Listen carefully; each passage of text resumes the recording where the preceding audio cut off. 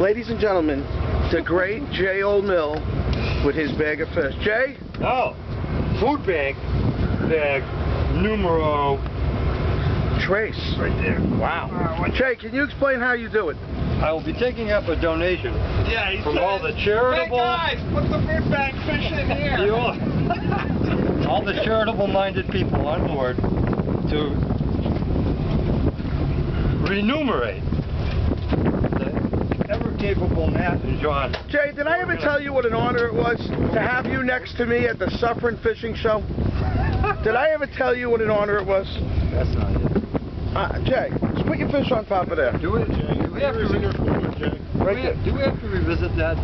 No, I would, I would, I would like to revisit it by mentioning what an honor it was having you next to me at the Suffering Fishing Show. Cognizant moments that I was there? Yes, sir. Okay. And I, I will never forget you walking with your Pepsis.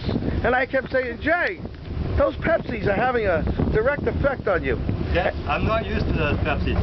Like, for me, that's strong medicine. Rum and, Pep- rum and Pepsi? And the fact of the matter is, it makes you act silly. Thank you, Jay Old Mill. And you will be with me next year once again. Thank you, Jay.